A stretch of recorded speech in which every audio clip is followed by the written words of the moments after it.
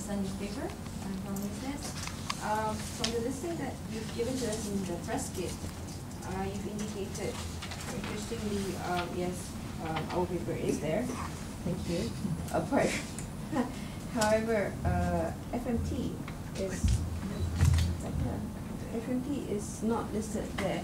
So, and, um, and will this include as well, uh, inter, uh, foreign press in the, uh, in, in your review, in your assessment?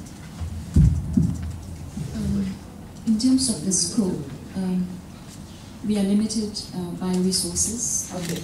uh, to the media that we are uh, that we've listed in the uh, in your press kit. Okay. Um, I think there's always an intention to want to do more, Um, but as you all know, the election is also a moving target.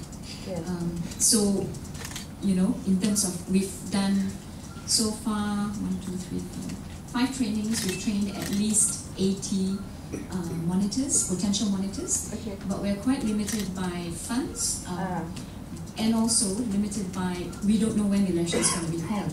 So, Ah. if the people we are training will